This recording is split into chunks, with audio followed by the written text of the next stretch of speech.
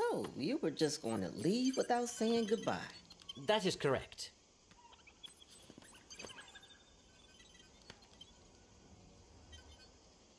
Did you require a briefing? You know, when two friends are talking, it's called a conversation. Well, don't go running off with any pirates or smugglers while you're gone. Yes. This mission should not involve either. That's not exactly what I was getting at.